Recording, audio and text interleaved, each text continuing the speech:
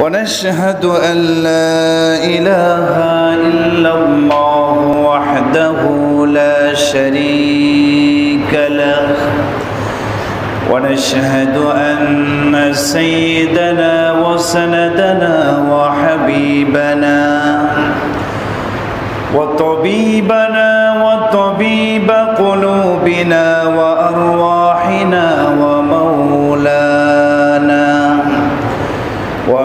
ومولانا محمدا عبده ورسوله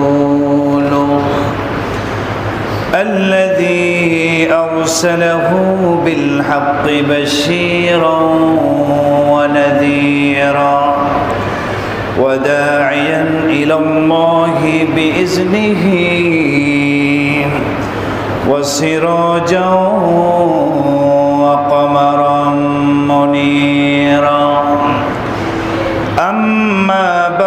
فقد قال الله تبارك وتعالى في كلامه المجيد وفرقانه الحميد.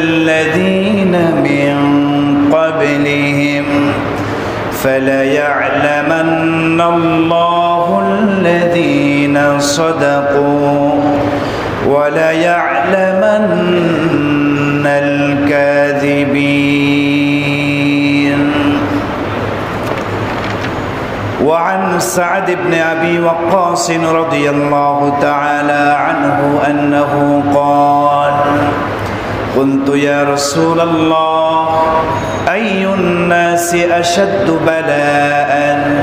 قال النبي صلى الله عليه وسلم الأنبياء ثم الصالحون ثم الأمثل فالأمثل. أو كما قال النبي صلى الله عليه وسلم درود إبراهيم পাঠ করি اللهم صل على محمد وعلى آل محمد كما صليت على إبراهيم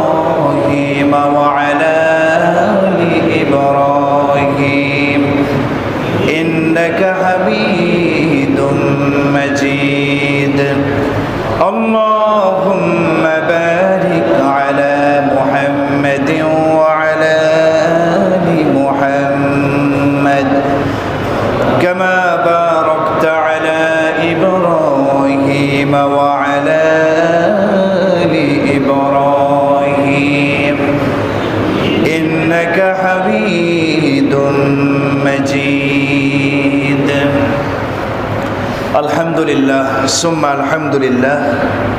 মহান আল্লাহ তাআলার আলিশান দরবারে অসংখ্য কোটি কালিমত শুকুর আদায় করছি। যেই মহান আল্লাহ তাআলা আমাদেরকে সুস্থ রেখে সম্মানিত মাস, রজব মাসের দ্বিতীয় জুমায়, সলাতুল জুমা আদায়ের লক্ষ্যে পৃথিবীর সবচেয়ে দামি জায়গা মসজিদে আসার এবং ধৈর্য সহকারে বসার তৌফিক দান করেছেন। আমরা সকলেই সেই মহান মুনিবের দরবারে হৃদয়ের সবটুকু ভালোবাসা উজাড় করে দিয়ে কালিমত শুকুর ও সজুদ আদায় করছি। সবাই বলে আলহামদুলিল্লাহ। রজব মাস যখন শুরু হয়ে যেত, প্রিয় নবীজি একটি আমল করতেন, দোয়ার আমল। গত জুমায় বলা হয়েছিল, নবীজি একটি দোয়া নিজে পাঠ করতেন এবং সাহাবা একরামদেরকে তালিম দিতেন। দোয়াটি হলো, আল্লাহুম্মা বারিক লানা। বলেন সবাই, আল্লাহুম্মা বারিক লানা ফি রজব ওয়া শাবান ওয়া বাল্লিগনা রমাদান। দোয়াটি নবীজি বেশি বেশি পাঠ করতেন। অর্থ হলো, হে আল্লাহ, আপনি আমাদেরকে রজব এবং শাবান মাসে বেশি বেশি বরকত দান করুন। এই দুই মাসকে আমাদের জন্য বরকতময় করে দিন। ওয়াবাল্লিগনা রমাদন এবং আমাদেরকে রমজান পর্যন্ত হায়াত বৃদ্ধি করে দিন। সুবাহান রমজান পর্যন্ত আমাদের হায়াত আপনি বাড়ায় দিন। যেন রমজানের রহমত, মাগফেরাত, নাজাত, বরকত আমরা অর্জন করতে পারি। এই দোয়াটা আমরা বেশি বেশি পাঠ করব ইনশাআল্লাহ। যে কোনো সময়ে, নামাজের পর হতে পারে, অন্য সময় হতে পারে, বেশি বেশি আমরা আল্লাহর কাছে রমজান পর্যন্ত নেক হায়াত বৃদ্ধির জন্য দোয়া করব। আল্লাহ আমাদের তৌফিক দান করুন। মহতারম মুসল্লিয়ানে কেরম, আপনাদের সম্মুখে পবিত্র কালামে পাক থেকে সুরা আল আনকাবুতের শুরু থেকে কিছু আয়াত তেলাওয়াত করেছি। প্রিয় নবী রসুল আরবি সাল্লাহ আলিহি ওয়াসাল্লামের হাদিসের ভান্ডার থেকে বিশুদ্ধ সূত্রে বর্ণিত একটি হাদিস আপনাদের সম্মুখে পাঠ করেছি। তেলাবাদকৃত আয়াত এবং হাদিসকে পাথেয় করে আপনাদের সম্মুখে অত্যন্ত গুরুত্বপূর্ণ কিছু আলোচনা উপস্থাপন করার চেষ্টা করব। ওয়ামা তৌফিকি ইল্লা বিল্লাহ। আল্লাহ তালার কাছে দোয়া করি, আল্লাহ তালা যেন আমাদেরকে এখলাসের সাথে কথাগুলো বলা এবং আমল করার তৌফিক দান আমার প্রিয় ভাইয়েরা, তেলাওয়াতকৃত আয়াতে মহান আল্লাহ তালা ঘোষণা করছেন, আহাসিবান নাস। আল্লাহ বলছেন, মানুষ কি মনে করে যে আইয়ুত রকু আইয়াকুল আমান্না? মানুষ কি কথা মনে করে যে তারা মুখে মুখে বলবে, আমরা ইমান এনেছি। অর্থাৎ মুমিন বলে দাবি করবে, আমরা ইমান এনেছি, মুমিন হয়েছি। এই মুমিন বলে দাবি করবে, অথচ তাদের উপরে পরীক্ষা আসবে না, বিপদ আপদ, মুসিবত আসবে না, দুঃখ কষ্ট আসবে না। তারা কি কথা ভাবছে?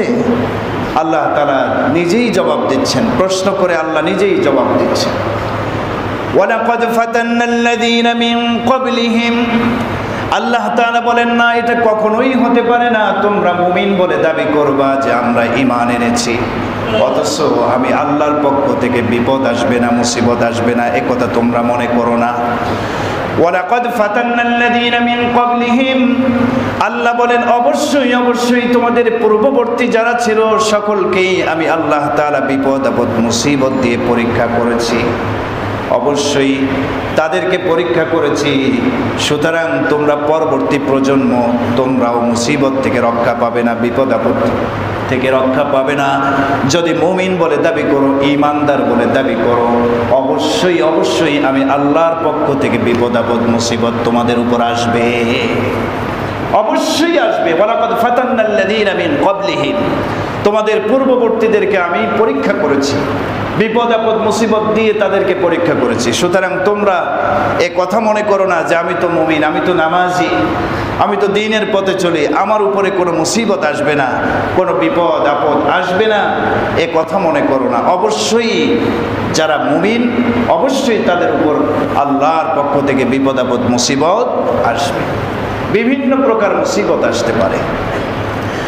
অন্য আয়াতে আল্লাহ রব্বুল আলামিন বলছেন ولنبلونكم بشيء من الخوف والجوع ونقص من الأموال والأنفس والثمرات আল্লাহ তালা বলেন অবশ্যই আমি তোমাদেরকে পরীক্ষা করব বিষয় মিনাল খাউফ কিছুটা ভয় ভীতি দিয়ে পরীক্ষা করব ওয়াল কিছুটা ক্ষুদা দিয়ে, অভাব অনটন দিয়ে পরীক্ষা করব ওয়ানাকসিম মিনাল আমওয়ালি ওয়াল আনফুসি ওয়াস সামারাত, জান, মাল এবং সম্পদের ক্ষয়ক্ষতি দিয়ে বিভিন্নভাবে আমি আল্লাহ তারা তোমাদেরকে পরীক্ষা করব মুসিবত অবশ্যই আমাদের উপরে আসবে।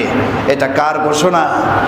আল্লাহর ঘোষণা। যারা মুমিন, অবশ্যই তাদের উপরে বিপদ, আপদ, মুসিবত আসবেই, কোনো সন্দেহ নেই। আল্লাহর নবী বিশ্ব নবী রহমাতুল্লিল আলমিনকে প্রশ্ন করা হলো আইয়ুন নাসি আসাদ্দু বালাআন? হযরত সাদ ইবনে আবি ওয়াক্কাস রাদিয়াল্লাহু তাআলা প্রশ্ন করলেন, ইয়া রাসূলুল্লাহ পৃথিবীতে সবচেয়ে বেশি বিপদ আপদ মুসিবত কাদের উপরে আসছে? সবচেয়ে বেশি মুসিবত কার উপরে আসছে? আল্লাহর নবী বলেন আল আম্বিয়া হে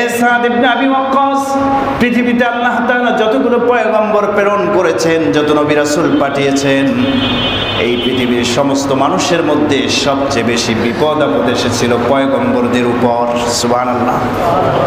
পয়গম্বরদের উপর সবচেয়ে বেশি বিপদ আপদ এসেছিল পয়গম্বরদের পরে এই পৃথিবীতে যারা নেককার, যারা মুমিন, যারা মুসলমান, তাদের উপরে বিপদ আপদ আসবে। সোম্মাল আমসাল ফাল আমসাল। এরপর পর্যায়ক্রমে ধারাবাহিকভাবে, যার মধ্যে দিনদারি বেশি থাকবে তাকুয়া পরেজগারি বেশি থাকবে, পর্যায়ক্রমে স্তর হিসেবে তাদের উপরে বিপদ আপদ আসবে। তাহলে সবচেয়ে বেশি বিপদ আপদ মুসিবত এসেছিল কাদের উপর? পয়গম্বরগণ, আম্বিয়া আলিহিমুসালাম তাদের উপরেই সবচেয়ে বেশি মুসিবত এসেছিল। আমার প্রিয় ভাইয়েরা, প্রশ্ন হতে পারে, আম্বিয়া আলিহিমুসালাম তারা কি কোনো গোনা করতেন, নাফরমানি করতেন নাকি? যে তাদের উপরে মুসিবত, বিপদ আপদ আসতো? কি বলেন, তারা কি গুণাগার ছিলেন? তারা কি পাপ করতেন? তাহলে কেন তাদের উপর মুসিবত আসতো? এবং নেককার যারা মুমিন মুক্তাকি পরহেজগার, রসুল বলেছেন, তাদের উপরে বেশি বেশি মুসিবত আসবে। কারণটা কি?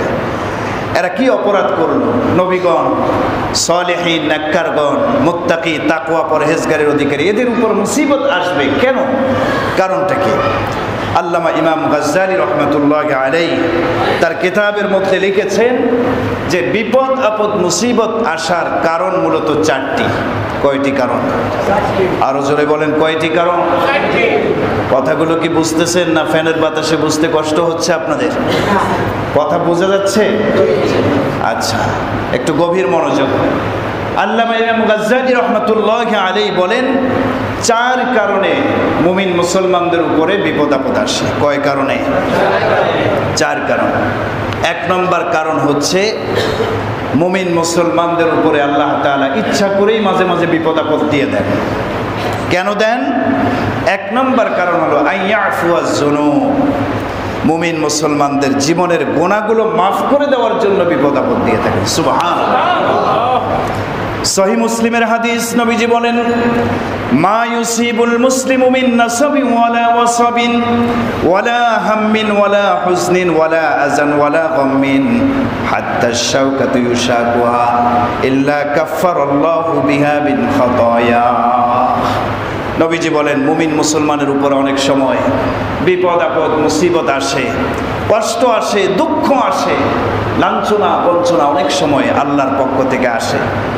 নবীজি বলেন, যত ছোট মুসিবতেই হোক না কেন, হাত্তা শাউকাত ইউসা এমনকি কোনো মুমিন মুসলমানের পায়ে যদি একটা কাটাও লেগে যায়, ছোট একটা কাটা লেগে গেছে, কাটা লাগার কারণে মুমিন মুসলমানের কষ্ট হবে কি হবে না? সামান্য একটু যে কষ্ট হচ্ছে, আল্লাহ রসুল বলেন, এর বিনিময়েও আল্লাহ তালা মুমিন মুসলমানের জীবনের গোনা মাফ করে দেবে। তাহলে বিপদ আপদ, মুসিবত আসলেই এটাকে খারাপ বলা যাবে না। এবং আল্লাহর উপরে অভিযোগ আরোপ করা যাবে? না। যে আমি তো নামাজ পড়ি, আমি তো রোজা রাখি, আমি তো হাজি, ভালো পথে চলার চেষ্টা করি, কিন্তু বিপদ আপদ আমার পিছনে লেগেই আছে। আল্লাহ কি আমাকে দেখে না?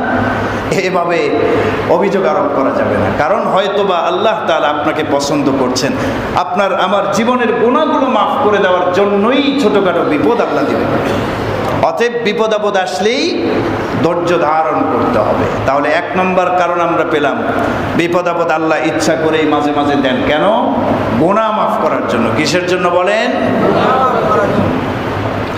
দ্বিতীয় নম্বর কারণ, আল্লামা গজ্জালি রহমতুল্লাহ আলী বলেন তাম্বিহান লিল আব্দি।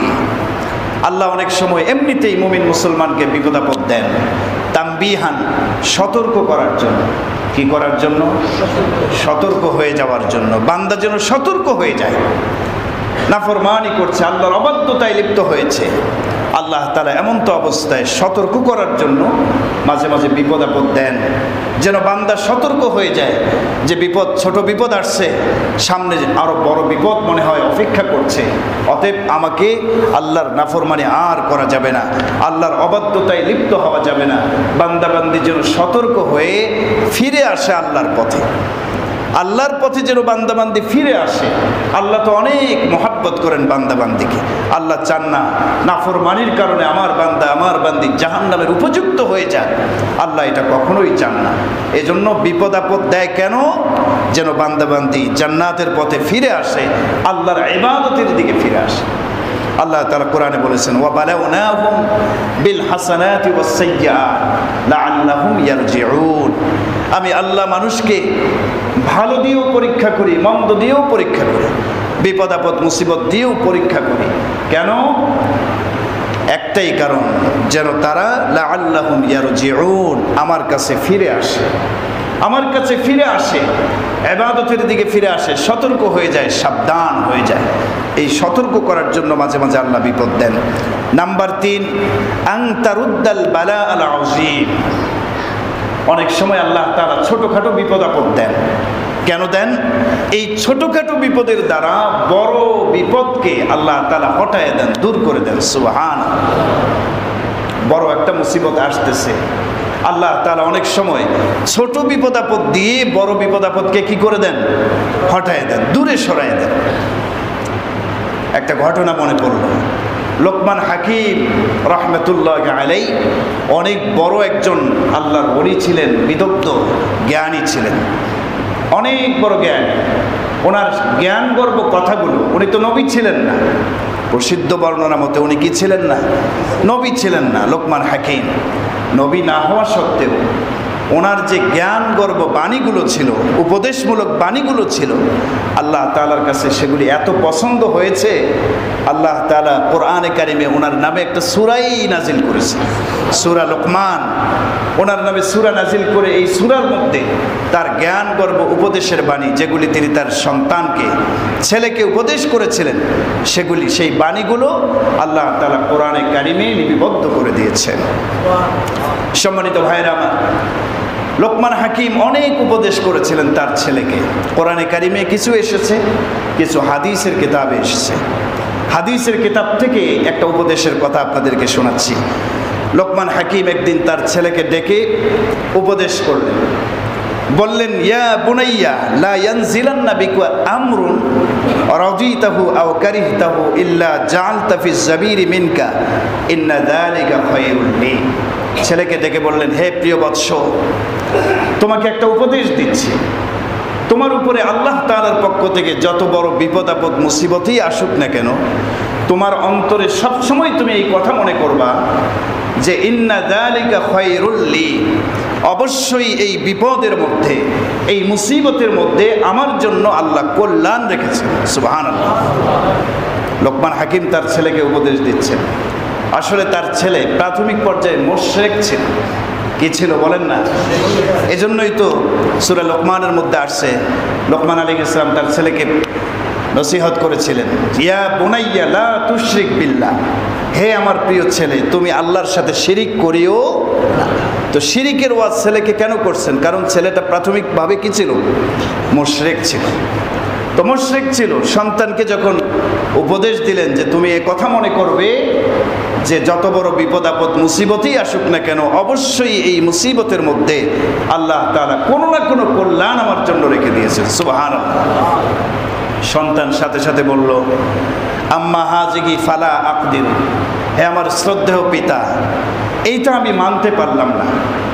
আমার উপরে একটা বড় মুসিবত আসছে। আর আমি এ কথা মনে করব যে এই মুসিবত বিপদের মধ্যে আল্লাহর পক্ষ থেকে কল্যাণ নিহিত আছে। না, এটা আমি মানতে পারি না। কারণ ওই পর্যায়ের ইয়াকিন আর বিশ্বাস তো আমার মধ্যে হয় নাই। মুসিবত তো মুসিবত, পেরেশানি তো পেরেশানি, দুঃখ কষ্ট তো দুঃখ কষ্ট। এর মধ্যে আবার কি কল্যাণ থাকতে পারে? না, এটা আমি বিশ্বাস করতে পারলাম না। আপনার এই নসিহতটা আমি মানতে পারলাম না। লোকমান হাকিম সন্তানকে বলল, তোমার ইয়াকিন তো ঠিক নাই। তোমার ইমান এবং ইয়াকিন ঠিক করাতে হবে। চলো, লম্বা সফর করতে হবে। ওই সময়ের জামানার পয়গম্বর ছিলেন হজরতে দাউদ আলী সরায়াতাম নাম কি? হজরতে দাউদ আলী সরায়াতাম লোকমান হাকিম ছেলেকে নিয়ে হজরতে দাউদ আলী সালাতামের দরবারে রওনা করছেন। কয়েকদিনের পথ সফর করতে হবে। প্রয়োজনীয় সামানা, খাবার, পানীয় সব কিছু সাথে করে নিয়েছেন। একটি গাধার উপরে সাওয়ারি হয়ে বাবা এবং সন্তান দুজনেই রওনা করছে দেখেন, লোকমান হাকিম তিনিও একজন বাবা ছিলেন, আর আমরাও তো অনেকেই আল্লাহ তালা আমাদেরকে বাবা বানিয়েছে তিনি তার সন্তানের ইয়াকিন ঠিক করার জন্য প্রায় এক সপ্তাহের পথ পাড়ি দিয়ে পয়গম্বরের দরবারে তার সন্তানকে নিয়ে যাচ্ছে। কি ঠিক করাতে হবে? সন্তানের ইমান আর ইয়াকিন ঠিক করাতে হবে। অমবিন মুসলমান, আপনাদেরকেও, যাদেরকে আল্লাহ তার সন্তান দান করেছেন, এটা অনেক বড় নেয়ামত। সন্তানের ইমান ইয়াকিন ঠিক করাতে হবে। বিশ্বাস ঠিক রাখতে হবে। আকিদা সংশোধন করাতে হবে। প্রয়োজনে বিজ্ঞ কোনো ওলামায় গ্রাম আলেমের কাছে শরণাপন্ন হয়ে তার কাছে সুফর্দ করে দিতে হবে। যে আমার ছেলেটা তো খারাপ হয়ে গেছে, তার ইমান, আমল সব কিছু নষ্ট হয়ে গেছে। হুজুর, এই ছেলেটা জন্ম দিয়েছে আমি, এটাকে মানুষ বানানোর দায়িত্ব আপনার আপনার কাছে দিয়ে দিলাম। এভাবে সন্তানদের আদব শিক্ষা দেওয়ার জন্য মুরব্বীদের কাছে, ওলামা ইকরামদের কাছে তাদেরকে পাঠাতে হবে, স্বর্ণাপন্ন করে দিতে হবে। আমরা তো আজকে ওলামা ইকরামদের থেকে দূরে সরে যাচ্ছি যে হালে ওলামাদের কাছে সন্তানকে আবার দেব কেন? আমার সন্তান কি কম বোঝে? বুখারি, মুসলিম, তিরমিজি এখন মোবাইলে আছে। এগুলো পড়বে, পড়ে পড়ে বড় বড় আবাদত গুজার হবে। না, এভাবে সম্ভব নয়। ওরামা ইকরামদের কাছে, মুরব্বীদের কাছে তাদের থেকে দিক নির্দেশনা নিয়ে সন্তানকে মানুষ বানাতে হবে। আল্লাহ আমাদের তৌফিক দান করুন। রকমান হাকিম সন্তানকে নিয়ে রওনা করছেন। তিন দিন পর্যন্ত অতিক্রম হওয়ার পর এক মরুভূমির মধ্যে পথ চলছেন, জঙ্গলের রাস্তা দিয়ে এক মহাবিপদ সামনে চলে আসলো। খাবার যা কিছু সাথে নিয়েছে, খাবার শেষ পানীয় শেষ। যেই গাধার উপরে সাওয়ারি হয়েছে, গাধাটাও দুর্বল হয়ে যাচ্ছে, গেছে। সামনে আর পথ চলতে পারছে না। লোকমান হাকিম ছেলেকে বলল, বেটা, এবার পায়ে হেঁটে আমাদেরকে যেতে হবে। খাবার নাই পানীয় নাই, ক্ষুধার্ত অবস্থায়। গাধাটাও দুর্বল হয়ে গেছে, সামনে চলছে না। চলো আমরা পায়ে হেঁটে রওনা করব। বাপ, বেটা দুজনেই পায়ে হেঁটে রাস্তা অতিক্রম করছেন। পাহাড়ি রাস্তা। হাঁটতে হাঁটতে হাঁটতে হঠাৎ করে আরেক বিপদ চলে আসলো সামনে। কি বিপদ? সন্তান পিছনে পিছনে হাঁটছিলেন, বাবার সামনে হাঁটছিলেন। হঠাৎ সন্তান বেহুশ হয়ে, চিৎকার দিয়ে বেহুশ হয়ে পড়ে গেলেন। জমিনে পড়ে গেলেন। লোকমান হাকিম পিছনে ফিরে দেখলেন, সন্তান পড়ে গেছে, হুশ নাই। কি হয়েছে? তিনি পায়ের দিকে তাকায় দেখলেন যে পায়ের মধ্যে একটা পেরেক ঢুকেছে। এই পেরেক ঢুকে ক্ষতবিক্ষত হয়েছে, রক্তাক্ত হয়ে গেছে পা। ছেলের হুশ নাই, অনেক ব্যথা পেয়েছে। দেখেন কি মুসিবত। কত বড় মুসিবত? একদিক থেকে খাবার শেষ হয়ে গেছে, পানিও শেষ হয়ে গেছে, গাধাটাও দুর্বল। পায়ে হাঁটতেছে, সন্তানের পায়ে পেরেক ঢুকে গেছে, এখন আর পা সামনে চলতেছে না। আরও বহুদূর পথ অতিক্রম করে সামনে যেতে হবে। লোকমান হাকিম সামনের দিকে তাকায় দেখলেন একটা ছায়া দেখা যাচ্ছে। বহুদূরে একটা ছায়া দেখা যাচ্ছে। তিনি ভাবলেন, হয়তো বা সামনের কোনো এলাকা আমাদের সামনে আছে, শহর আছে, সেখানে গেলে আমাদের সব কিছু আসান হয়ে যাবে। লোকমান হাকিম রহমতুল্লাহ আলী সন্তানকে চেষ্টা করলেন একটু হাঁটানো, কিন্তু কোনোভাবে হাঁটতে পারছেন না। তারা সেখানে বসে পড়লেন। কীভাবে সামনের পথ অতিক্রম করবেন? খাবার শেষ হয়ে গেছে, পানিও শেষ হয়ে গেছে, মরুভূমির মধ্যে মানুষের কোনো বসবাস নেই। কি এক মুসিবত। আল্লামা ইমাম জাউজি রহমতুল্লাহ আলাই অয়ুনুল হেকায়াত নামক কিতাবের ভিতরে লিখেছেন ইমাম গাজ্জালি রহমতুল্লাহ আলাই এই ঘটনা নকল করেছেন। লোকমান হাকিম সামনের দিকে তাকায় দেখলেন। একজন আল্লাহর বান্দা সাদা পাঞ্জাবি জুব্বা পরিধান করে, মাথায় পাগড়ি পরিধান করে, হাতে তসবি নিয়ে আল্লাহর এক বান্দা ঘোড়ার উপর আরোহণ করে দ্রুত ছুটে আসছে। সামনের দিকে আসতেছে, যেই মাত্র কাছাকাছি চলে আসছে, সঙ্গে সঙ্গে উদাও হয়ে গেল, অদৃশ্য হয়ে গেল, অদৃশ্য অবস্থায় আওয়াজ দিয়ে লোকমান হাকিমকে ডেকে বললেন, মান আংতা? আল আংতা লোকমান? আপনি কি লোকমান হাকিম? লোকমান হাকিম জবাব দিলেন হ্যাঁ আমি লোকমান হাকিম। বলে, আপনি লোকমান হাকিম হয়ে থাকলে আল্লাহ রব্বুল আলমিনের পক্ষ থেকে আমি বিরাট বড় একটা সুসংবাদ নিয়ে আপনার কাছে এসেছি। এই মুহূর্তে আল্লাহ রব্বুল আলমিন আপনাদেরকে বিরাট বড় একটা মুসিবতের হাত থেকে রক্ষা করেছেন সুবাহান লোকমান হাকিম বললেন কীভাবে আমরা তো এক মুসিবতের মধ্যে পড়ে আছি। খাবার শেষ হয়ে গেছে পানীয় শেষ হয়ে গেছে। আমার সন্তান, সে তো তার পা ক্ষতবিক্ষত হয়ে গেছে, পায়ে পেরেক ঢুকেছে, এমনি এক মুসিবত। তাহলে আল্লাহ কোন বড় মুসিবত থেকে আমাদেরকে রক্ষা করেছেন? সে কথাটা তুমি বলে দাও। লোকমান হাকিম বললেন, ভাই, অদৃশ্য হয়ে আপনি কথা বলছেন। আপনার পরিচয় এটাকে আগে দেন। গায়েব থেকে আওয়াজ আসলো লোকমান হাকিম। আমার পরিচয় হলো, আমি দুনিয়ার কোনো মানুষ নই। আমি মহান আল্লাহ তালার পক্ষ থেকে প্রেরিত ফেরেস্তা জিব্রাইল আমি সুবহান আমাকে নবীরা ছাড়া, পয়গম্বর ছাড়া কোনো মানুষ আমাকে দেখতে পারে? এই জন্য অদৃশ্য হয়ে আপনার সাথে কথা বলছি। আল্লাহ তালা আপনাকে বিরাট বড় একটা মুসিবত থেকে এই মুহূর্তে রক্ষা করেছে। কি মুসিবত? জিব্রাইল আমিন বললেন সামনে যে এলাকা দেখতে পাচ্ছেন, এই এলাকার মানুষ নাফরমান। আল্লাহ তালার আদেশ হয়ে গেছে। আল্লাহ তালা আমি জিব্রাল আমিনকে পাঠিয়ে দিয়েছেন ওই এলাকা ওমান ফিহা, এবং ওই এলাকার আশপাশে যারা আছে, সবাইকে নাফরমানের কারণে একদম ধ্বংস করে দেওয়ার জন্য আল্লাহর পক্ষ থেকে আদেশ। আমি জিব্রাল আমিন এই মাত্র ওই এলাকা এবং তার পার্শ্ববর্তী এলাকাকে ধ্বংস করে দিয়ে আমি এসেছি। তো আল্লাহ তালা যখন আমাকে ওই এলাকা ধ্বংস করে দেওয়ার জন্য বলেছে, আল্লাহ তালার সাথে সাথে এই কথাও বলে দিয়েছেন, জিব্রাইল সাবধান। আমার এক অলি লোকমান হাকিম তার সন্তানকে নিয়ে এই এলাকায় আসবে। সাবধান, ওই এলাকা যখন ধ্বংস করে দিবে, আমার বন্ধু লোকমান হাকিম আর তার ছেলে, তারা যেন ধ্বংস না হয়ে যায়। সুহান জেবরাল আমিন বলেন, আমি আল্লাহর কাছে বলছি, আল্লাহ, ওই এলাকার মধ্যে কে লোকমান হাকিম এবং কে তার সন্তান, এটা তো আমি জানব না। আপনার কাছে দোয়া করছে, আল্লাহ, মেহরবানি করে লোকমান হাকিম এবং তার সন্তানকে এই এলাকায় যেন সে আসতে না পারে এমন একটা ব্যবস্থা আপনার পক্ষ থেকে করে দেন। সুহান সুতরাং আল্লাহ তালা আপনাদেরকে একটা বিপদে ফেলায় রাখছেন আপনার ছেলের পায়ে লোহার পেরেক ঢুকেছে আর একদিক থেকে খাবার শেষ হয়ে গেছে। একটা বিপদ, ছোট একটা বিপদ দিয়ে আল্লাহ তালা এই জায়গায় আপনাদেরকে বসায় রাখছেন, আটকায় রাখছেন, যেন ওই ধ্বংসপ্রাপ্ত এলাকায় আপনারা ঢুকতে না পারেন। ওই এলাকার সমস্ত মানুষকে তো ধ্বংস করে দেওয়া হয়েছে। আপনারা যদি ওই এলাকায় যেতেন, আপনারাও ধ্বংস হয়ে যেতেন। আল্লাহ ওই বড় বিপদ থেকে ছোট বিপদ দিয়ে আপনাদেরকে বাঁচায় রাখছেন। সুবাহ কি বোঝা গেল? প্রত্যেক বিপদের মধ্যে কল্যাণ আছে না নাই? অনেক সময় আল্লাহ তারা ছোটোখাটো বিপদ আপদ দেয়। দেখেন পায়ে লোহার পেরেক ঢুকছে, সন্তান পড়ে আছে, হাঁটতে পারছে না। তার মানে আল্লাহ তালা আটকায় রাখছেন যে ওই এলাকায় যেন না যাও। কারণ ওখানে গেলে জিব্রাইলের আদেশ, আল্লাহর আদেশ এলাকার ধ্বংস করে দেওয়ার জন্য ঘোষণা হয়ে গেছে। আমার প্রিয় ভাইয়েরা এই জন্য মুসিবতের মধ্যেও ধৈর্য ধারণ করতে হবে। লোকমান হাকিম আর সামনে গেলেন না। সন্তানের ইয়াকিন অটোমেটিক ঠিক হয়ে গেছে। সন্তান বুঝতে পেরেছে যে বাস্তবেই আমার বাবা আমাকে যে নসিহত করেছেন, যে প্রত্যেক মুসিবতের মধ্যে কথা মনে করতে হবে, এর মধ্যে আল্লাহ তালার পক্ষ থেকে কি আছে? কল্যাণ নিহিত আছে। আমার এই বিশ্বাস হয়ে গেছে। সামনে আর পথ অতিক্রম করতে হয়নি।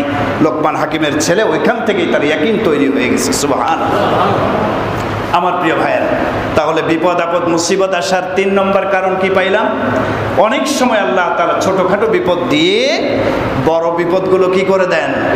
হটায় দেন, ওগুলোর থেকে আল্লাহ বাঁচায় নাম্বার চার আইয়ার ফাদ দারাজাত। অনেক সময় আল্লাহ পাক রব্বুল আলমিন ছোটোখাটো বিপদ আপদ, মুসিবত আমাদেরকে দেন। কেন দেন? আমাদের মর্যাদাকে আল্লাহ তালা উন্নীত করতে চান। আমাদের মর্তবা, মর্যাদাকে বাড়ায় দেওয়ার জন্য অনেক সময় বিপদ আপদ আল্লাহর পক্ষ থেকে চলে আসে। রসুল করিম সাল্লাহ আলী ওসাল্লাম তিনি হাদিসে বলেছেন, সবচেয়ে বেশি বিপদ আপদ মুসিবতের শিকার হয়েছিলেন পয়গম্বরগণ। বলেন, পৃথিবীতে যত মানুষ আছে, সমস্ত মানুষের মধ্যে সবচেয়ে দামি মানুষ কারা বলেন? পয়গম্বরগণ আল আম্বিয়া আম্বিয়া আলী মুসালাম তাদের দাম সবচাইতে বেশি। কেন বেশি? তাদের মর্যাদা কেন বেশি? একটাই কারণ, তাদের উপর সবচেয়ে বেশি মুসিবত আসছে। সবচেয়ে বেশি মুসিবত বিপদ আপদ আসছে। এ কারণে আল্লাহ তাদের মর্যাদা সবচেয়ে বেশি বাড়ায় দিয়েছে আবার সমস্ত পয়গম্বরগণের মধ্যে সবচেয়ে দামি, শ্রেষ্ঠ পয়গম্বরকে আমাদের নবী, বিশ্ব নবী রসুল্লাহ সাল্লাহ আলহি ওসাল্লাম তো আমাদের নবীর দাম সমস্ত পয়গম্বরগণের চেয়ে কম না বেশি? অনেক বেশি, শ্রেষ্ঠ নবী। তো আমাদের নবীর দাম এত বেশি কেন? সমস্ত পয়গম্বরগণ যে বিপদ আপদের সম্মুখীন হয়েছে, তার থেকে হাজারো গুণ, কোটি গুণ বেশি আমাদের নবীর উপরে বিপদ আপদ, মুসিবত আসছে। আমাদের নবীর উপরে যেই পরিমাণ বিপদ আসছে, জুলুম, নির্যাতন আসছে, অন্য কোনো পয়গম্বরের উপরে এত বেশি আসে, এজন্যই তো আল্লাহ তালা আমাদের নবীর মকাম, মর্যাদাকে বহুগুণে বাড়ায় দিয়েছে। আমাদের নবীর উপরে কি পরিমাণ জুলুম, নির্যাতন এসেছে, কম বেশি আমাদের সবার জানা। সবচেয়ে বেশি জুলুম, নির্যাতন এসেছিল মাক্কি জীবনে। নবুয়াদ প্রাপ্তির পরে নবীজি তেরোটি বছর মক্কাতে ছিলেন। কয় বছর? এই মাক্কি জিন্দেগি তেরো বছরে নবীজি খুব জুলুম, নির্যাতন সহ্য করেছিলেন। অনেক বিপদ আপদ, মুসিবত আসছিল নবীজির উপর। এই তেরো বছরের মধ্যে আবার দশম বছর, দশম বছরটি ছিল সবচেয়ে বিপদের বছর। ইতিহাসের কিতাবে এই নবুয়াতের দশম বছরকে বলা হয় আমল হজুন মানে পেরেশানির বছর, বিপদের বছর। এই দশম বছরে রসুল করিম সাল্লাহ উপর অনেক জুলুম নির্যাতন এসেছে। এই দশম বছরের আগের তিন বছর, নয়, আট এবং সাত, এই তিন বছর আমাদের নবীকে এবং নবীর পরিবারকে, বনি হাসেমকে দুই পাহাড়ের মাঝখানে শেয়াবে আবি তলেবের মধ্যে বন্দি করে রাখা হয়, বয়কট করে রাখা হয়। কাফেররা ঘোষণা করেছে কাফেররা ঘোষণা করেছে যে বনি হাসেম যদি মোহাম্মদকে হত্যা করার জন্য আমাদের হাতে সোপর্দ না করে, তাহলে অনির্ধারিত সময়ের জন্য শেয়াবে আবি তলেবের এই ঘাঁটিতে তাদেরকে আবদ্ধ হয়ে থাকতে হবে, বন্দি অবস্থায় থাকতে হবে এবং তাদের সাথে সমস্ত প্রকার লেনদেন, কথাবার্তা, উঠা বসা সব কিছু নিষিদ্ধ ঘোষণা করা হলো আমার প্রিয় ভাইয়েরা, নবীজি, সাহাবাই কেরাম এবং বনি হাসেমের লোকদেরকে সেই ঘাটিতে তিন বছর পর্যন্ত আবদ্ধ জীবন যাপন করতে হয়েছে। হজরত সাইদ রদি আল্লাহ তার আনহু বলেন, ওই তিন বছরে কাফেরদের সাথে কোনো যোগাযোগ ছিল না, কোনো ব্যবসা বাণিজ্যের অনুমতি ছিল না। খাবারের অভাবে আমরা অনেক সময় মাটি খেয়েছি, মাটি। জায়দ রদি আল্লাহ তালু বলেন, একদিন ক্ষুধার যন্ত্রণায় ছটপট ছটপট করছিলাম। হঠাৎ আমার পায়ের নিচে কিছু একটা আছে বলে মনে হলো। আমি উঠিয়ে চোখ বন্ধ করে খেয়ে ফেললাম। আজও পর্যন্ত জানি না ওইটা কি ছিল, খাবার ছিল না, মাটি ছিল। আল্লাহ একবার কি পরিমাণ কষ্ট করছিলেন সেই তিন বছর। আবদ্ধ অবস্থায় নবীজি ছিলেন, পানি দেওয়া হতো না, খাবার দেওয়া হতো না সব কিছু বিচ্ছিন্ন অবস্থায় রাখা হয়েছে। আমার প্রিয় ভাইরা এই তিন বছর শেষ যখন হলো, নবুয়তের দশম বছর, তখন কাফেররা তিন বছর পর নিজেরাই বুঝতে পারল যে আমরা নিরীহ কিছু মানুষের উপরে ফাও ফাও জুলুম করতেছি, এটা আমাদের জন্য ঠিক হচ্ছে না। তারা নিজেরাই নিজেদের জুলুম সম্পর্কে অবগত হয়ে তিন বছর আবদ্ধ রাখার পরে নবীজিকে, নবীর পরিবারকে তারা মুক্ত করে দিয়েছিলেন। আমার প্রিয় ভাইয়েরা, মুক্ত হওয়ার পরে এরপরে কয়েক মাসের মধ্যে রমজান মাস চলে আসলো। এই রমজান মাসে নবীজির সবচেয়ে যিনি নবীজিকে রক্ষা করেছিলেন, সাহায্য সহযোগিতা করেছিলেন, আবু তলেব নবীজির চাচা। এরপরে রমজান মাসেই সেই চাচা এন্তেকাল করলেন, মৃত্যুবরণ করলেন। চাচার ইন্তেকালের পরে দেখেন এই দশম বছরটা, নবুয়তের দশম বছরটা কত বড় বিপদের বছর। চাচা ইন্তেকাল করলেন। চাচার ইন্তেকালের পরে তিন দিন আরেক বর্ণনায় পাঁচ দিন পরে খাদিজা রদিয়াল্লাহ আনহা তিনিও দুনিয়ার থেকে বিদায় নিয়ে চলে গেলেন। আল্লাহ রসুল সাল্লা সাল্লামকে বিভিন্ন জুলুম, নির্যাতন আসলে সামনে এসে দাঁড়াতেন কে? আবু তলেব, চাচা। আর অর্থ সম্পদ দিয়ে সবচেয়ে বেশি উপকার হয়েছে অযোধ্যে খাদিজা রদি আল্লাহ তালা আনহার মাল থেকে। তো এই দুইজন বিদায় নিয়ে চলে গেল। এই দশম বছর নবতের দশম বছর। কি এক মুসিবত? চাচা বিদায় নিল, স্ত্রীও বিদায় নিয়ে চলে গেলেন। রসুল করিম সাল্লাহ আলী ওসাল্লাম চাচার ইন্তেকালের পরে দেখলেন যে কাফের মুর্শেক বেঈমানদের জুলুম নির্যাতন আরও বেশি আসতেছে। এখন আর কেউ বাধাও দেওয়ার মতো নাই। সামনে এগিয়ে এসে যে প্রতিবন্ধকতা হিসেবে কাজ করবে এরকম কেউ নাই। নবীজি চিন্তা করলেন, এখানে থাকা যাবে না। নবীজি হিজরতের সিদ্ধান্ত নিলেন, তায়েফে হিজরত করে যাবেন। তায়েফে হিজরত করে যাবেন। হজরতে জায়েদ ইবনে হারেসকে সঙ্গে করে নিয়ে গোপনে নবীজি মক্কার জমিন ছেড়ে তায়েফে চলে গেলেন, হিজরত করলেন। বুক ভরা আশা নিয়ে গেলেন যে সম্ভবত মক্কার মানুষ আমাকে চেনে নাই। তায়েফের ময়দানে যাব, সেখানে গিয়ে দাওয়াত দেব, তায়েফবাসীরা আমাকে চিনবে, আমাকে সম্মান দেবে, এই আশা নিয়ে নবীজি গেলেন তায়েফের বড় বড় তিনজন সর্দারের কাছে গিয়ে দাওয়াত দিলেন। কিন্তু তারা দাওয়াত তো প্রত্যাখ্যান করলই। অকথ্য ভাষায় গালিগালাজ করল। এক একজন এক এক কথা বলে নবীকে কথার মাধ্যমে অপমান করল। নবীজি নিরাশ হয়ে যখন ফিরে আসছিলেন, দুষ্ট ছেলেদেরকে লেলিয়ে দেওয়া হলো। তারা ইট, পাটকেল ছুঁড়ে মারতে লাগল আমার নবীর পবিত্র শরীরে। ইটের আঘাতে, পাথরের আঘাতে নবীজির চেহারা, শরীর ক্ষতবিক্ষত হয়ে রক্তে রঞ্জিত হয়ে গেল। নবীজি তার রুমাল দিয়ে সেই রক্তগুলো মুছে ফেলছিলেন। জায়দ রদি আল্লাহ তালানহু বলেন, ইয়া রসুল আল্লাহ আপনার রক্ত দিয়ে তো রুমালটাকে আপনি লাল বানিয়ে ফেলছেন, রক্তাক্ত বানিয়ে ফেলছেন। নবীজি বলেন হে আমার সাহাবি সনক আমি বিশ্ব নবীর এক ফোঁটা রক্ত যদি এই তায়েফের জমিনে পড়ে যায়, তাহলে কেমন পর্যন্ত তায়েফের জমিনে গাছপালা সহ কোনো উদ্ভিদ জন্মাবে না। মানুষ তো দূরের কথা। তো আমি চাই না যে আমি নবী মোহাম্মদের এক ফোঁটা রক্ত এখানে পড়ে যাক। জমিনটা কেয়ামত পর্যন্ত অনাবাদ হয়ে যাক। মানুষ বসবাস করতে পারবে না, আমি এটা চাই না। আমি চাই যে এই তায়েববাসীরা আমাকে চেনে নাই কিন্তু ভবিষ্যৎ প্রজন্ম, সামনে যারা আসবে, তারা হয়তো কেউ কেউ এমনও হতে পারে যে তারা ইমান আনবে, আমি নবীর প্রতি। তারা ইসলাম গ্রহণ করবে, তাদের মাধ্যমে দিন চিন্তা হবে, সেই আশা নিয়ে আজকে আমি তাদের জন্য বদ দোয়া করছি, না হেদায়তের দোয়া করছি, সুবাহান আমার প্রিয় ভাইয়েরা বিশ্বনবী রসুল্লাহ সাল্লাহ আলী ওসাল্লাম রাস্তা দিয়ে চলে আসছিলেন। নবীজি নিজেই সেই ঘটনা বর্ণনা করেছেন যে আমি রাস্তায় বেহুশ হয়ে পড়েছিলাম। বেহুশ হয়ে পড়েছিলাম আঘাত সহ্য করতে না পেরে আমার হুশ চলে গিয়েছিল। যখন আমার হুশ ফিরে আসলো, বেকারনি সাহালিব সাহালিব নামক জায়গায় আমার হুশ ফিরে আসলো। আমি আসমানের দিকে তাকায় দেখলাম, আমার মাথার উপরে মেঘের খণ্ড, মেঘ ছায়া দিচ্ছে। সুবাহান এবং মেঘের আড়ালে দেখতে পেলাম, জিব্রাইল আমিন আমাকে দেখে নবী আমাকে দেখে জিব্রাইল আমিন সালাম দিলেন। জেবরাল আমিন বললেন, ইয়া রসুল আল্লাহ তাকায় দেখেন, পাহাড়ের দায়িত্বে নিয়োজিত অসংখ্য ফেরেস্তাদের জামাত উপস্থিত হয়ে গেছে। আপনি শুধু একবারের জন্য আদেশ করুন। এই পাহাড়ের দায়িত্বে শক্তিশালী ফেরেস্তাদেরকে বলুন, দুই পাহাড়কে চাপ দিয়ে তায়েববাসীকে একদম নিশ্চিন্ন করে ধ্বংস করে ফেলবেন। আপনি শুধু একবারের জন্য বলুন। নবীজি কি বলেছিলেন? নবীজি বলেছিলেন, না, আমি রহমতুল্লিল আলমিন, আল্লাহ আমাকে লানত দেওয়ার জন্য পাঠান নাই। লাম উবাস লাআনান, ইন্নামা বহিস্তু রহমাতান। আমি তো দয়ার নবী হিসেবে এসেছি। তায়েববাসীদেরকে বদয়া দেওয়া আমার পক্ষে সম্ভব হবে না, আমি তাদের হেদায়তের জন্য দোয়া করতে পারি। সুবহান এই পরিমাণ নির্যাতনের শিকার হয়েছিলেন। আমার প্রিয় ভাইরা এরপরে সেখান থেকে চলে আসলেন অনেক লম্বা ইতিহাস। নবীজি ক্লান্ত হয়ে একটি বাগানে প্রবেশ করলেন। ওই বাগানটি ছিল অতবা এবং সাহেবা দুই ভাইয়ের শরিকানা বাগান। তারা এক পাশেই ছিল। সেই বাগানের নবীজি গিয়ে ক্লান্ত হয়ে একটা আঙ্গুর গাছের নিচে বসে ছায়া বিশ্রাম নিচ্ছিলেন।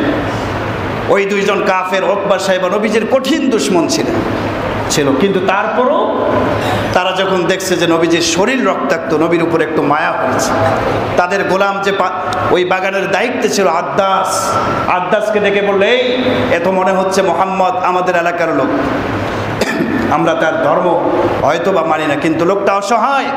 তাকে কিছু আঙ্গুর খাওয়াও, যেন তিনি পরিতৃপ্ত হয়ে যান। সুহান আল্লাহ সেই আদাস আঙ্গুরের একটা ঝোপা নিয়ে নবীজির কাছে আসলেন, নবীজি আঙ্গুর খেলেন। আদাস বলল, ইয়া রসুল আল্লাহ আপনি খাওয়ার সময় কি যেন বললেন? নবীজি খাওয়ার সময় বলেছিলেন বিসমিল্লাহ রহমান রহিম। এই দোয়াটা শোনার পর আব্দাস, সেও কাফের ছিল। সে বলল, এত সুন্দর একটা দোয়া আপনি পড়লেন। নবীজি বললেন, হা, এই দোয়ার মধ্যে সেই মহান আল্লাহ তালার নাম উল্লেখ রয়েছে, যিনি আমাদের সবার রব, সবাদের, সবার মালিক।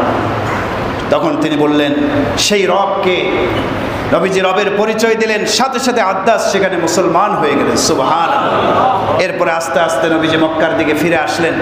আমার প্রিয় ভাইয়েরা, মক্কার দিকে যখন ফিরে আসলেন জায়দ রদি আল্লাহ তালানহু বললেন, ইয়া রসুল আল্লাহ আপনাকে তো মক্কাবাসীরা কাফেররা ঢুকতে দেবে না, কারণ তারা তো আপনাকে তাড়িয়ে দিয়েছিল, আপনি তায়েফে চলে গিয়েছেন। আপনাকে পারমিশন দেবে না, আপনাকে দেখা মাত্রই হয়তো বা হত্যা করে ফেলতে পারে, আশঙ্কা করছি। নবীজি আখনাস বিন সুরাইক নামে এক কাফের, কিন্তু ভালো মানুষ ছিলেন তখন। তাকে ডাকলেন দেখে আশ্রয় চাইলেন, সেও আশ্রয় দিতে অস্বীকার করল। এরপরে সোহাইল ইবনে আমর নামে এক সর্দারকে ডাকলেন, তার কাছে নবীজি আশ্রয় চাইলেন। দেখেন কত বড় মুসিবত, নিজের ঘর, নিজের বাড়িতে ঢুকতে হচ্ছে আজকে, কিন্তু অনুমতি নাই, পারমিশন নাই, প্রাণ নাশের আশঙ্কা। নবীজি কত বড় মুসিবতে আছেন। শেষ পর্যন্ত মতঈম ইবনে আদি পরবর্তীতে তিনি মুসলমান হয়েছিলেন। ওই সময় কাফের ছিলেন, তার কাছে নবীজি যান, গিয়ে তার আশ্রয় কামনা করলেন। সঙ্গে সঙ্গে মতঈম ইবনে আদি যুদ্ধের পোশাক পরিধান করলেন, হাতে তরবারি নিলেন। যুবকদেরকে বললেন, এই যুবকেরা, চলো। সঙ্গে করে নিয়ে রসুলে করিম সাল্লাহ সাল্লামকে বেষ্টনী দিয়ে মক্কা পর্যন্ত, কাবাঘর পর্যন্ত নবীকে পৌঁছায় দিলেন। সুবাহান মোতাইম ইবনে আদি ঘোষণা করলেন, হে কাফের হে কাফের মুর্শেকেরা শোনো, মোহাম্মদকে আমি মোতাইম ইবনে আদি আশ্রয় দিয়েছি। সুতরাং মোহাম্মদের দিকে তোমরা কেউ বাঁকা দৃষ্টিতে কখনোই তাকাবে না। রসুল করিম সাল্লাহ সাল্লাম কাবাঘরে ঢুকলেন, দুই রেখাত নামাজ পড়লেন, অঝরে চোখের পানি ছেড়ে দিয়ে আল্লাহ তালার কাছে দোয়া করলেন, আল্লাহর কাছে কাঁদলেন। রাতের সময় ছিল। রাসুল করিম সাল্লাহ সাল্লাম সেই রাতেই সেই রাতেই এশার নামাজের পরে বিছানায় শুয়ে পড়লেন। ঘুম আসছে না। একদিকে সেই তায়েববাসীদের নির্যাতনের কারণে শরীরে যন্ত্রণা শুরু হয়ে গেছে ক্ষত বিক্ষত হয়ে গেছে। এই দুঃখ ভারাক্রান্ত হৃদয় নিয়ে নবীজি ঘুমালেন। কিন্তু ঘুম আসছিল না। চোখের পানি দিয়ে নবীজির বালিশ মোবারক ভিজে যাচ্ছিল। এমন তো অবস্থায় তন্দ্রার ভাব হয়ে গেছে, ঘুম ঘুম ভাব হয়ে গেছে। কিন্তু আল্লাহ রব্বুল আলমিন, আল্লাহ রব্বুল আলমিন আরশে আজিম থেকে দেখছেন, বন্ধুকে আজকে সান্ত্বনা দেওয়ার মতো কেউ নাই। কেউ নাই, আবু তলেবও নাই, তার স্ত্রী খাদিজাও নাই। আল্লাহ পাক রব্বুল আলমিন জিব্রাইল আমিনকে সঙ্গে সঙ্গে ওই রাতেই পাঠায় দিলেন।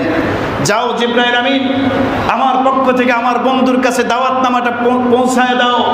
আমার বন্ধু মক্কা থেকে বাইতুল মুকাদ্দাস বাইতুল মুকাদ্দাস থেকে সাত আসমান পাড়ি দিয়ে আমার আরশা আজিমে যেন আসে, আমি আল্লাহ আমার বন্ধুকে সান্ত্বনা দেওয়ার জন্য তার দিদার, আমার দিদার তাকে দান করব সুবহান আমার প্রিয় ভাইয়ের, সেই রাতেই জিব্রাইল আমিন আসছে এবং রসুল করিম সাল্লাহ সাল্লামকে সেই বক্কা থেকে বাইতুল মুকাদ্দাসে নিয়ে গিয়েছিলেন। সেখান থেকে সপ্তম আকাশ পাড়ি দিয়ে ওই রাতেই আল্লাহ তালার আরশা আজিমে আল্লাহ পাক তাকে ডেকে নিয়েছিলেন সাক্ষাৎ দান করেছিলেন আরও অনেক কিছু নিদর্শনাবলী দেখাইছিলেন যেটাকে আমরা মেয়েরাজ বলি। এই মেয়েরাজের ঘটনার মাধ্যমে আল্লাহ তালা রসুল করিম সাল্লাহ সাল্লামের সম্মান আর মর্যাদা বহু গুণে বাড়ায় দিয়েছেন। সুহার মেরাজ সম্পর্কে আগামী জমা ইনশাআল্লাহ আল্লাহ হায়াত রাখলে আলোচনা হবে। আমি যে বিষয়টি বলছিলাম, সেটি হলো প্রত্যেক পয়গম্বরের উপর বিপদ, আপদ, মুসিবত এসেছিল। মুসিবত আসার কয় কারণ? চার কারণ। তার মধ্যে সর্বশেষ কারণ হচ্ছে অনেক সময় আল্লাহ তালা বিপদ, আপদ, মুসিবত দেন মর্যাদা বৃদ্ধির জন্য। দেখেন, নবীর উপরে সবচেয়ে বেশি মুসিবত আসছিল, নির্যাতন আসছিল। এর বিনিময়ে আল্লাহ তালা মর্যাদাকে এত দূর পর্যন্ত বাড়ায় দিয়েছেন, পৃথিবীর কোনো মানুষ আমাদের নবীর মর্যাদায় উত্তীর্ণ হতে পারবে না। সবচেয়ে বেশি মর্যাদার মালিক আল্লাহ তালা বানায় দিয়েছেন আল্লাহ রব্বুল আলমিন আমাদেরকেও বিপদ, আপদ, মুসিবতে ধৈর্য ধারণ করার মতো তৌফিক দান করুন। ইন্নামা ইউফা সাবিরুন আজরহুম বিগাইরি হিসাব। যারা বিপদ, আপদ, মুসিবতে ধৈর্য ধারণ করবে, আল্লাহ পাক রব্বুল আলমিন দুনিয়াও প্রতিদান দেবে, আখেরাতেও তাদেরকে ধৈর্যের প্রতিদান দেবে। ওমা তৌফিক ইল্লা বিল্লাহ, আলাইহি তাওয়াক্কালতু ওয়া ইলাইহি উনীব। যারা সুন্নাত পড়েননি, চার রাকাত কাবলাল জুমার সুন্নাত পড়েন